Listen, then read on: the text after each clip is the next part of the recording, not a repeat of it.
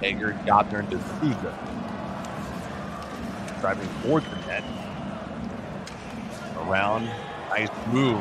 Top of the slot. That shot. Austin Bjerken, the initial save. The second one from Rapuzzi goes off the goal post. Area again.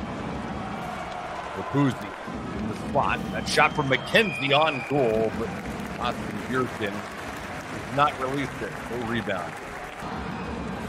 Ferrario. Koch. Koch with Rapuzzi in front. Backdoor feed.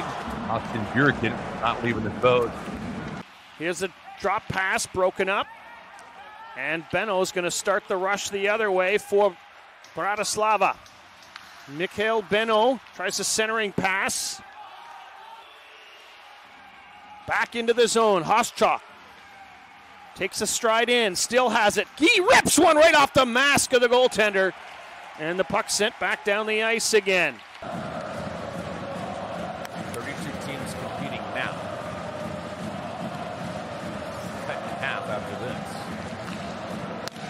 Steve Bagel shot, they score. While Austin Bjerken got beat, Marcel Haščák from a steep angle with top shelf blocker side and with a brand new affair. It's 1 1. And Euphomini behind the net, taking a hit from Hager. He goes down. That's the Into the slot, Austin Bjerken, a great stop at the doorstep. They're running out of time, Slovan. Oh, they might have a chance. Right out in front. Over the crease it goes. Tight angle. Goal opening up, and they've got another.